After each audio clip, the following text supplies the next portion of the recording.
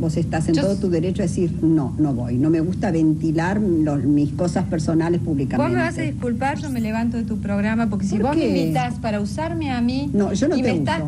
No, yo no te uso. Discúlpame al público. yo no te uso. Yo no te uso. ¿Te molestó que te dijera para qué vas a los programas de televisión? Disculpame, vos no podés usarme a mí. No te uso. Y retarme. Yo no necesito de vos para tener audiencia, Silvana Suárez.